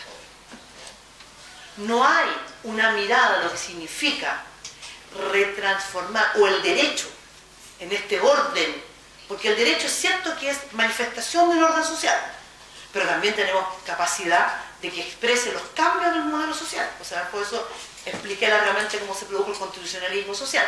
Más allá que hay pérdidas, yo sé, hoy día el constitucionalismo social está en crisis, entre otros porque están en crisis los derechos, pero está en crisis porque hay un modelo que tiene que ver con el neoliberalismo, que neoliberalismo no es más que el mismo liberalismo decimonónico que se transformó en un proceso de reajuste, si ustedes quieren, eh, teórico, a partir de lo que fue el avance del Estado social. El llamado neoliberalismo no es más que la versión transformada, pero que tiene la misma base teórica, que da, y por eso es neoliberalismo se que ataca tanto al Estado, porque en el fondo enfrenta una respuesta desde el Estado social. Y lo que hace es desarmar. Es más, está visto, esto es el conservadurismo norteamericano y, europeo que se retrotrae en la década del 50 al mundo de las universidades y se dedica a investigar y crea todo un pensamiento conservador, pero no es conservador, es neoliberal en el sentido de cómo enfrentar el constitucionalismo social y el avance. Y eso son los Chicago, y son todo lo que hemos visto, que en América Latina se expresa muy brutalmente porque está muy asociado a los modelos dictatoriales porque fue la forma que tuvo justamente de cortar los avances sociales y de frenar con la violencia, no tuvo otra. Y por eso es que hay quienes cuentan, yo nunca lo he visto, pero no dudo que no sea así, y si no es exactamente así es muy parecido, que hay un libro de mm, Friedman donde él describe eh, eh, como modelo teórico lo que son las FP, porque él lo pensó en un modelo teórico desde su clase profesor en la universidad. Y después fue este señor que fue alumno de él y se lo, se lo pasó porque le interesaba, porque se lo había construido. No es que fuera que se lo piratean, se lo pasó porque entonces ahora lo podían aplicar en un laboratorio verdadero. Ese laboratorio verdadero se llama Chile. Porque de aquí ha sido copiado por lado. Bueno, vuelvo ahora al, sujeto mujeres que me interesa poner. Lo que pasa es que esto que expreso recién es para que no se imaginen que esto es lineal, esto no es cosa de que avancemos, tiene un de construcción. Y aquí vuelvo a la idea del movimiento y los movimientos sociales y a este concepto de la discriminación este concepto de discriminación, que está recogido en un instrumento internacional que es la Convención eh, para la Eliminación de todas las formas contra la mujer, que es la que justamente parte definiendo el concepto de discriminación. Ya no busca, o sea, en el fondo es la búsqueda de la, igualdad, pero la igualdad mirado del otro lado. Y justamente el texto que les mandé también plantea y dice expresamente, lo que no ha mirado el derecho y eso es lo que los autores, incluso eh, marxistas y que trabajan temas desde los derechos sociales y, del conflicto capital-trabajo, hoy día empiezan, así como el feminismo fue tributario del marxismo, ellos hoy día empiezan a ser tributarios del feminismo, porque el feminismo es quien pone en jaque el concepto de sujeto. La teoría feminista es quien pone... Entonces el constitucionalismo hoy día, el no feminista, digamos, lo toma desde allí para reconstruir la idea de sujeto. Y desde ahí la idea de sujeto, bueno, eso es muy marxista, pero se junta en la idea de sujeto histórico, sujeto social, que es muy importante en la construcción. Y en la idea del movimiento, y ahora vuelvo al concepto de discriminación, porque también lo colocan las mujeres. Y fue colocado justamente en lo que fue el proceso de los movimientos sociales, en la construcción de los textos internacionales allí y planteando, y por eso que se recepciona así. Y hoy día, entonces, la teoría del derecho en el constitucionalismo toma, empieza a tomar el concepto de discriminación desde la mirada constitucionalista. Entonces, si bien yo tengo que definir el derecho a la igualdad, pero tengo que definir su correlato, que es la garantía de la idea de la no discriminación. Porque justamente lo que yo garantizo es la no discriminación en el ejercicio de derechos.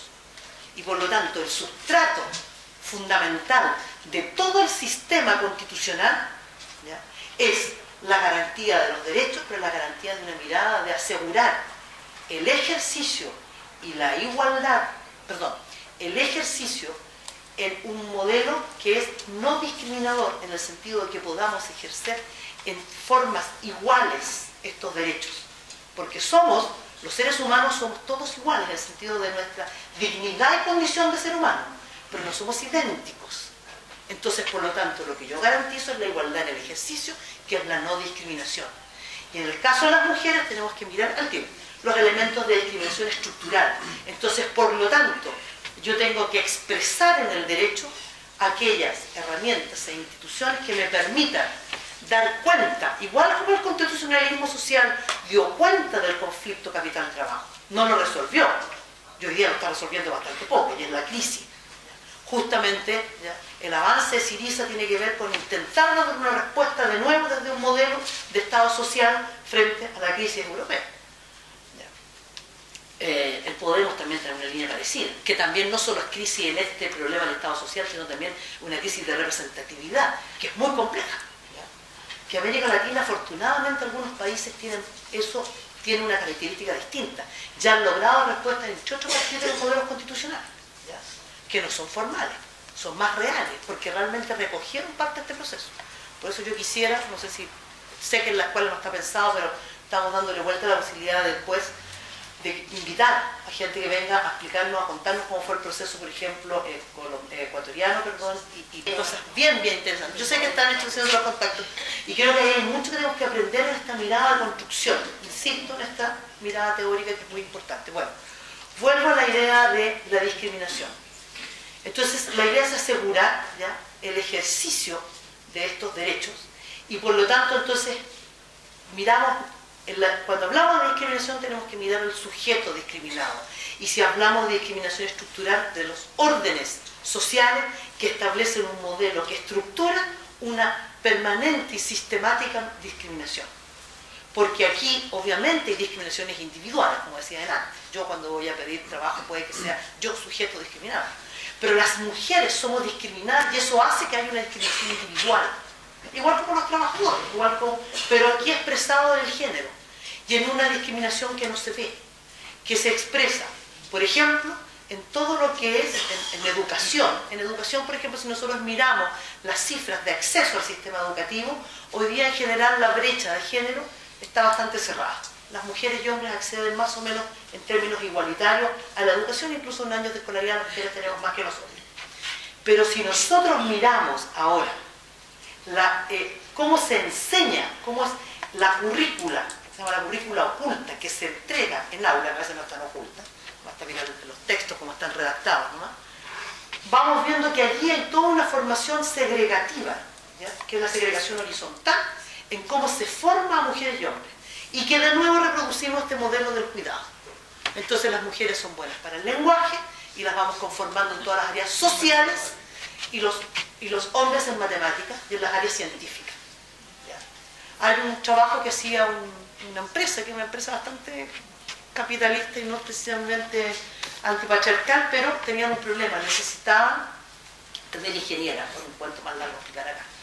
Y entonces empezaron a crear unos talleres de robótica en, las vacaciones de invierno, en, entre en Chile, para niños, niñas, para, perdón, para niñas de colegio eh. Y tenían, siempre eran 20, 30 niñas, talleres de robótica. Y iban todas decían que iban por entretenerse, todas, porque la robótica no les decía nada, pero la oportunidad pasaba, les parecía el invierno en lana. A los 15 días, todas querían ser ingenieras, todas, porque por primera vez habían aprendido esto desde otro punto de vista, porque todo el sistema, toda la currícula escolar le está diciendo usted tiene que ir por aquí, y el problema es que eso se expresa después en cómo en, en lo que estudiamos y en cómo trabajamos y en cómo ascendemos y en cómo nos movemos en el ámbito del trabajo y cómo no accedemos también al mercado de trabajo.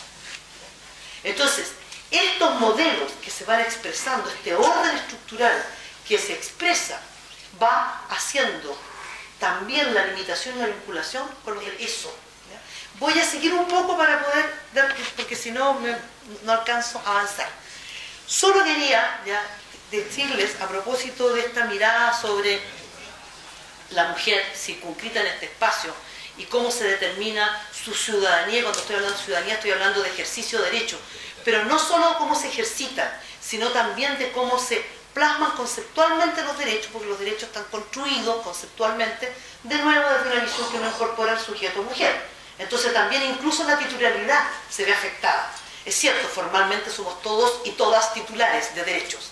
El problema es que el contenido de ese derecho, de cómo se manifiesta, no mira al sujeto mujer, entonces nuestra titularidad también está determinada de una forma que no nos incorpora como sujeto y obviamente el ejercicio se ve limitado y las garantías somos prácticamente inexistentes.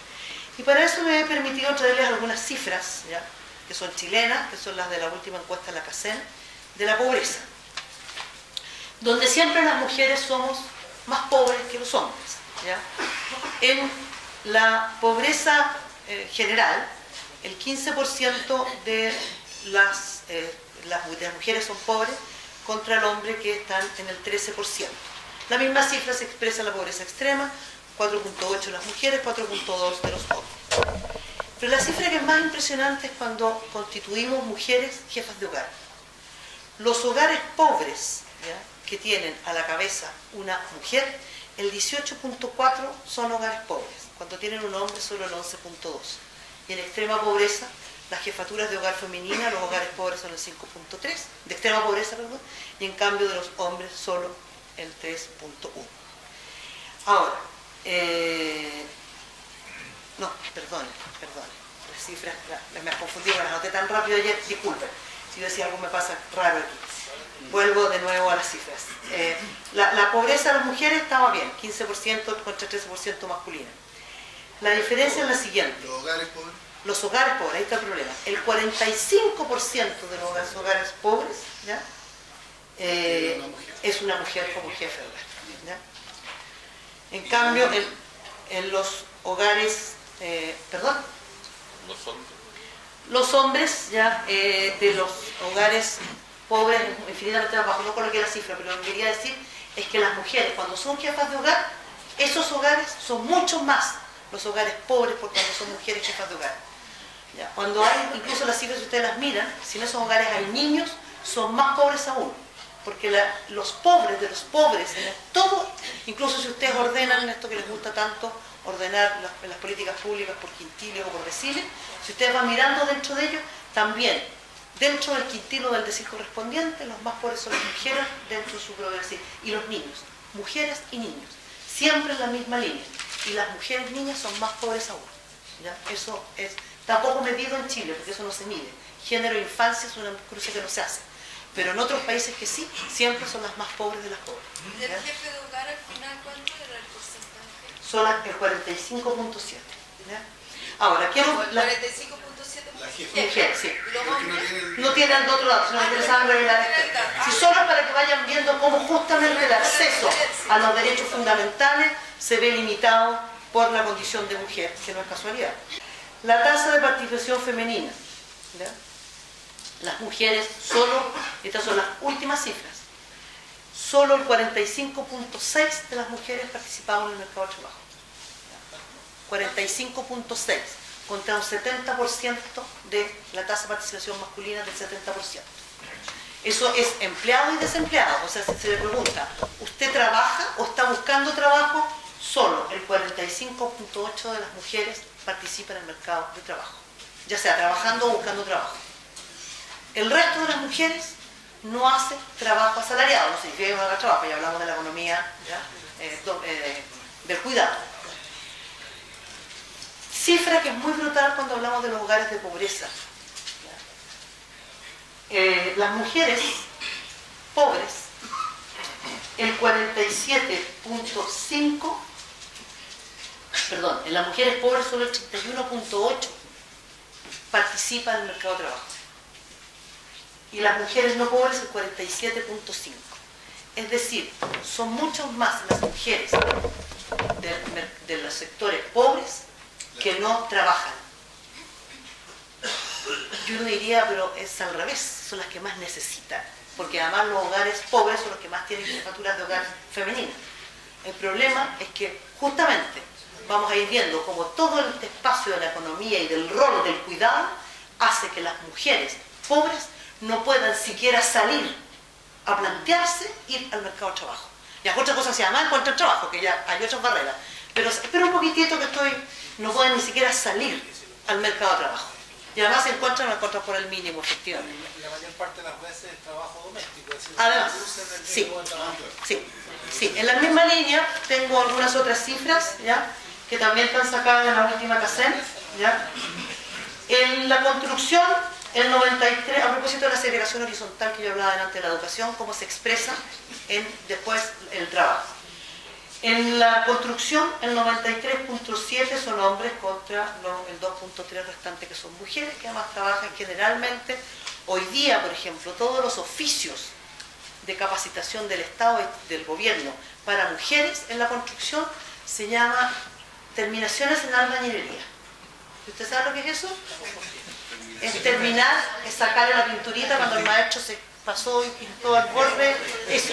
Para eso, y entonces este 2.3 o 2.7, perdón, van a eso o van hoy día a los temas de seguridad.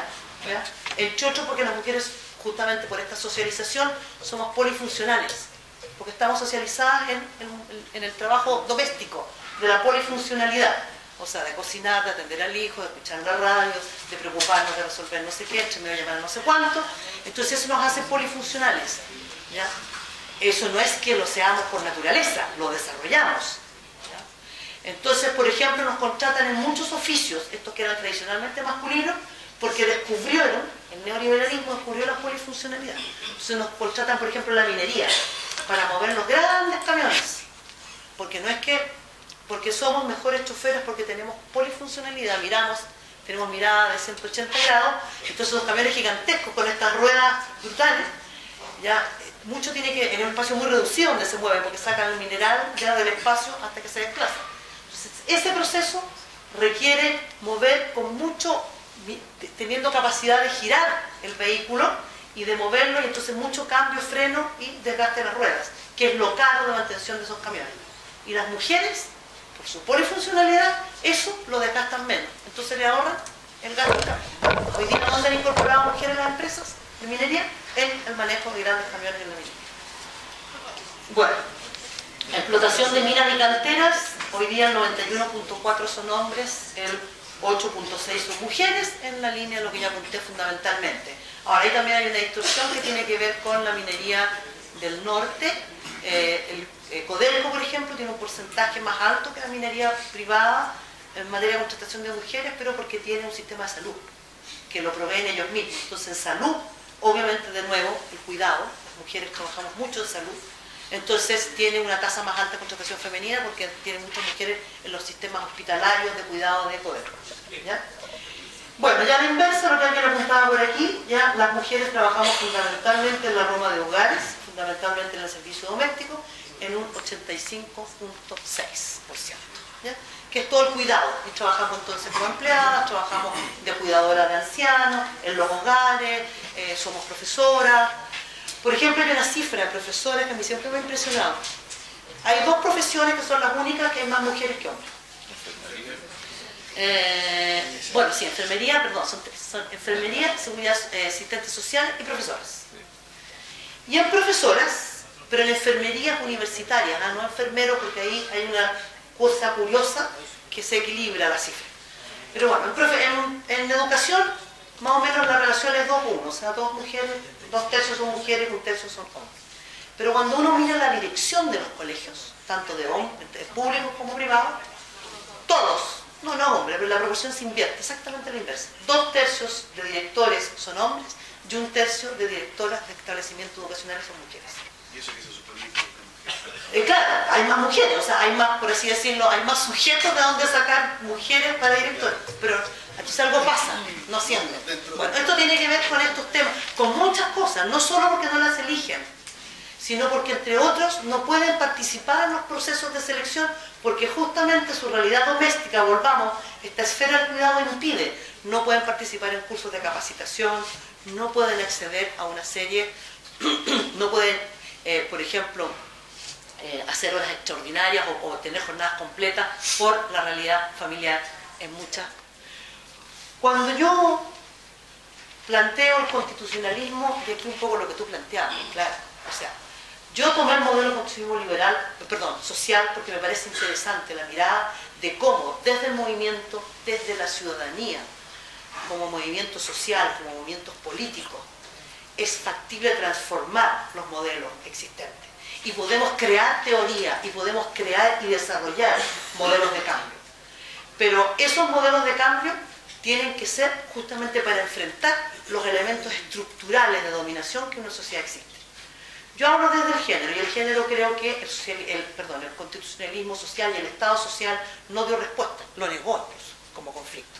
Y ahí hay que poner, obviamente las grandes articuladoras es el movimiento feminista, es el movimiento mujer.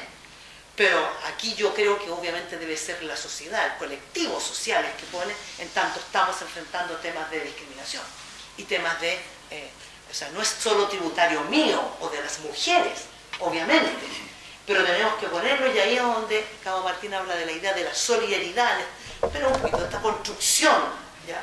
total de una sociedad y un modelo institucional que dé cuenta. Y tiene que ver con el concepto de democracia, fundamental y de construcción y de participación.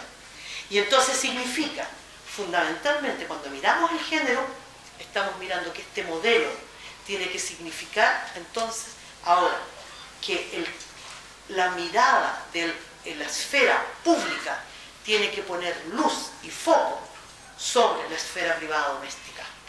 Y la esfera privada doméstica tiene que salir de esa condición de privada y tiene que vincularse. ¿Qué significa eso? Reestructurar los derechos fundamentales. Entonces que los derechos fundamentales ahora, así igual como en el constitucionalismo social, fueron reelaborados incluso derechos que ya existían, pero tienen que ser reelaborados. Por ejemplo, el derecho a la vida y a la integridad física. Y las mujeres y el movimiento de mujeres plantean un derecho por el derecho a una vida libre de violencia. Porque existe la violencia de género, que es la forma de dominación más brutal y estructural que existe. He mencionado ya varias situaciones y casos. Entonces, obviamente, yo tengo que reconstruir conceptualmente el derecho a la vida. Y allí, porque no solo es la norma del derecho, en la constitución, porque la constitución es, la norma que me cierra la pirámide y me establece el marco, pero sobre el cual se desarrolla un orden institucional y normativo, que es la constitución no lo vamos a pedir todo, sino queda, que por lo demás es, es una tentación, ya ha existido. Los hiperconstitucionalismos, entonces unas constituciones gigantescas que resuelven, es absurdo. Lo que pasa es que da un marco que recoge los elementos fundantes que me permite entonces estructurar un orden normativo que se expresa en una legalidad que me asegura, por ejemplo, la garantía de un derecho. Y cuando yo hablo del derecho a la vida, en el caso de las mujeres, de un derecho libre de violencia, tengo que hablar del acceso a la justicia. Por ejemplo, Argentina tiene una bastante buena ley de violencia de género. Ya sacó bastantes ideas de la Vereda de Pará, que la Convención Americana, y tiene una ley bastante interesante, mucho más que la nuestra, sin duda. Pero todo el tema de acceso a la justicia en Argentina es terrible, ahí no solo para las mujeres, porque el sistema es muy poco, eh, se basa, no recoge justamente los derechos fundamentales. Es un tema de mafia terrible, y las mujeres particularmente. Y ahí se produce, sí, muy complejamente, una solidaridad de género masculino en los procesos de violencia. Es muy habitual en Argentina, o sea, la cantidad de niñas que mueren asesinadas y violadas cotidianamente es muy alto, mucho más alto que en Chile. Y allí eh, tiene una ley que es perfecta, pero el problema es que no hay un correlato en lo que significa un orden institucional que asegure el acceso a la justicia. Y tampoco está construido el derecho a la vida a partir de la idea de... porque ese cambio no se ha hecho. Voy a terminar un poco las ideas antes de, seguir, porque si no no alcanzamos. Em, entonces lo que les decía, necesariamente la mirada de la esfera privada, doméstica, significa entonces empezar a mirar los derechos fundamentales, desde la propia definición de los derechos fundamentales, de la construcción de los que ya existen, y eso es la conceptualización de esto. Por ejemplo, el derecho de igualdad. El derecho de igualdad, obviamente, está formalmente reconocido yo trabajé hace muchos años atrás, eh, está redactado, fue hecho en mi trabajo, me tocaba hacer. Yo trabajaba en el CERNAM, fue llevado al Congreso, el derecho a igualdad tal cual está establecido. Pero es formal, no está contenido desde una mirada de la no discriminación. Eso significa crear el derecho de igualdad y no discriminación como, como un correlato de, de, la mirada de lo que debo lograr y lo que debo evitar. Y eso no está construido que también nos permitiría, obviamente, para otras discriminaciones, sí, sin duda. Pero esa construcción, estoy hablando desde el género, cómo hay que ir mirando. Bueno, pero no solo basta con reacerca el relato conceptual de los derechos fundamentales establecidos, sino que hay nuevos derechos, que hasta ahora el movimiento feminista ha puesto. Fundamentalmente son dos, tres. Hay uno que se deriva del otro, pero creo que tiene una entidad propia. Uno es el derecho a una vida libre de violencia, que se establece y que de hecho la Belén Duvará lo recoge, es el único instrumento internacional como tal, ¿ya? pero que tiene un correlato de derecho como derecho fundamental, pero no tiene un correlato normativo que todavía no se ha desarrollado. Sí las leyes de violencia son parte de este correlato, de violencia de género, pero todavía falta mucho en acceso a la justicia, falta mucho en crear institucionalidad, hay toda una institucionalidad que hay que crear, ¿ya? y eso hay que irlo armando. Eh, los derechos reproductivos, que es fundamental. Y, y, la consagración entonces como derecho fundamental de los derechos reproductivos. Y el tercero que es el derecho al aborto, que a veces lo vinculan con derechos reproductivos, pero yo creo que es una entidad propia. ¿ya? Perdón, sí, derechos sexuales y reproductivos. Sí, perdón, estoy a esta altura. Sexuales y reproductivos. Sí. Y el derecho al aborto, como un correlato, como distinto, como un derecho fundamental. Los europeos ya lo están discutiendo. Pasa es que en este país estamos más atrasados. Y no el debate no es derecho a la vida. Tiene que ver con un derecho de libertad, ya fundamental. Y una definición que solo las mujeres pueden definir. Ahí sí que, ahí sí que hay un elemento que en eso sí que es, es, biológico. O sea, en nosotros ya se produce. Sí. O sea, podemos estar de acuerdo, podemos discutirlo. Ese es otro tema. Pero sí se plantea desde una mirada, ¿ya? Otra cosa es que tú podrás discutir si te haces un aborto o no, pero en la construcción del debate teórico institucional desde la mirada del género, para destruir o para enfrentar este modelo, una de las situaciones que se plantea es el derecho al aborto como derecho fundamental. No te digo que lo vamos a aceptar o no, te estoy diciendo cuál es el relato. De, yo no voy a discutir, obviamente podemos discutirlo, pero no en este minuto, porque obviamente podemos tener miradas distintas. Y no es mi mirada, estoy planteando lo que desde si queremos mirar los derechos fundamentales, digo, hay que reescribirlo, pero hay que agregar otros. ¿Cuáles otros se han establecido hasta ahora como fundamentales? Esto. ¿ya? Y justamente desde la mirada de los derechos nuevos, hay uno que está a mitad camino porque tiene que ver con, la, con, con, con reescribir los derechos, que tiene que ver este concepto de la discriminación estructural, que es complementario al derecho de igualdad, que es fundamental, introducir. Entonces, el primer proceso de transformación, ahora, el debate puede ser más grande y podemos mirar muchas otras realidades. Esto es lo que hay hasta ahora, esto es lo que se ha ido constituyendo y puede que incluso yo esté un poco atrasada, ¿ya? porque justamente esto no es que se haya construido en un proceso teórico universitario, no, esto es puramente movimiento social que fueron construyendo este proceso ¿ya? y lo fueron articulando como tal y como construcción. Después esto se armó teóricamente. Yo hoy día en general, eh, y eso sí, bueno, yo leo mucho eso porque es mi tema, digamos, en, el desarrollo de teoría del derecho eh, y constitucionalismo, eh, allí hoy día estos temas están planteados así, incluso no por feministas, sino ya como teoría del derecho y quienes trabajan el neoconstitucionalismo, que es la mirada desde, una mirada efectivamente de un constitucionalismo desde lo social, pero desde los derechos fundamentales como marco, que también tiene un aspecto liberal, podemos discutirlo, pero ese es otro tema. Eh, también empiezan a recoger estos derechos fundamentales dentro del listado de derechos fundamentales, porque ahí viene el debate de qué son derechos fundamentales, qué construyo yo como derecho fundamental, el de mayoría, la opinión de todos. Entonces hay una línea, que es la que, la que yo estoy en, en mirada teórica, que tiene que ver con una construcción social histórica. Y por lo tanto son los actores en un proceso histórico, proceso histórico del devenir, como sujeto de construcción social, pero como sujeto colectivo que va construyendo. Por eso no es un tema ni de mayoría ni de, ni de minorías. Es un proceso que en, construcción va, decantando y va eh, generando conceptualmente derechos. Y por eso cambian los derechos y se nutren de forma distinta. Y eso es muy fundamental. Y si no, eh, sería un par de teóricos que se sentarían a pensar y no, porque eso, eso justamente no permite dar respuesta ¿ya? a la... Y justamente el problema de los, teóricos más liberales hoy día en el derecho, que cuando trabajan desde el neoconstitucionalismo, no les queda otra cosa que llegar a modelos naturalistas. Que es muy difícil, porque hoy día en el derecho ser está en una concepción naturalista, o sea que hay un derecho que no sea creado por los seres humanos, es bien difícil.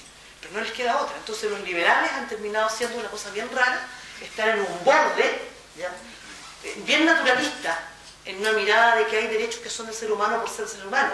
Porque si tú no aceptas lo, la creación social, histórica, entonces, ¿quién crea el derecho? Entonces está, es una cosa rara. Ya, hay Dworkin, Rawls, hay una cantidad de autores norteamericanos y europeos que están en esa línea, no se definen como naturalistas porque hoy día el positivismo es muy fuerte, no se podría. Voy a terminar, por favor, para y después las preguntas y, la, y, lo que vayamos discutiendo. Bueno, eh, ahora, lo otro que yo creo que desde la mirada constitucional es fundamental es que sí creo que hay que crear un mecanismo de recurso constitucional que trabaje, que vaya amarrado a este concepto de discriminación estructural. Que yo lo miro desde el género, ahora no solo a través del género, sino desde otras miradas también de discriminación. Pero que tiene que ver la construcción del concepto de discriminación estructural y que me permita enfrentar entonces los derechos y la garantía y la no, y la no igualdad desde la discriminación. Entonces, por lo tanto, yo puedo enfrentar, por ejemplo, procesos de discriminación estructural, todos los temas de maternidad, por ejemplo. Cambiar todos los temas de empleo y maternidad, porque toda la discriminación de las mujeres en el trabajo tiene que ver con este orden de discriminación estructural, que tiene que ver ya sea con mi socialización y esta, y esta discriminación horizontal, de segregación horizontal, o tiene que ir vinculado con mi, social, con mi rol social de cuidadora que me vincula. Y entonces, si yo no logro cambiar esos elementos, y entonces allí demostrar. Y entonces no solo miro al individuo, sino que miro al colectivo. Entonces miro los elementos estructurales. Entonces creo que necesariamente hay que crear, eso no está creado. Recién yo he empezado a leer algunas teóricas, yo feministas, que están pensando en mecanismos constitucionales que enfrenten efectivamente el tema de la discriminación estructural, que también es un aporte al feminismo, porque hay otros actores de otras miradas eh, sociales, desde el derecho, que también están empezando recién en este tema a raíz del concepto de discriminación estructural, que es uno de los aportes del feminismo en la teoría constitucional. Entonces lo recojo y lo pongo porque yo creo que es un elemento central. Y bueno, y junto con estas dos miradas fundamentales, derechos fundamentales, un un, instrumento o una herramienta específica de rango constitucional, que sea un instrumento como los recursos que existen, o ya sea dotar a los propios recursos, y de, repente no hay que inventar otra cosa nueva, el recurso de protección y el o sea, eso es lo que existen en nuestro derecho, pero hay recursos constitucionales que ya existen, pero si uno le dota del elemento de la no discriminación, obviamente lo hace bien distinto ¿ya? y lo transforma, que por lo demás creo que es la forma que hay que trabajar y enfrentar los recursos existentes y a, vincularlo a uno solo. No sé qué se cae.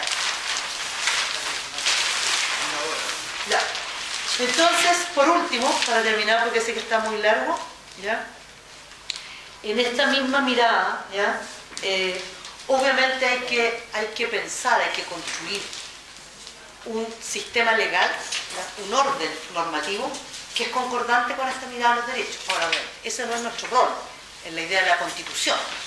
Pero sí podemos incluso pensar a partir de un orden normativo existente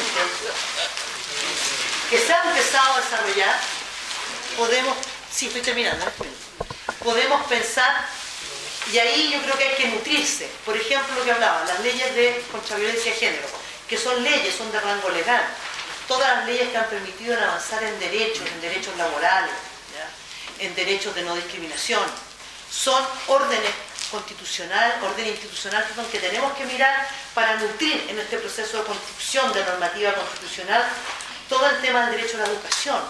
¿Cómo lo pensamos? ¿Cómo lo pensamos, por ejemplo, eh, la educación pública y laica?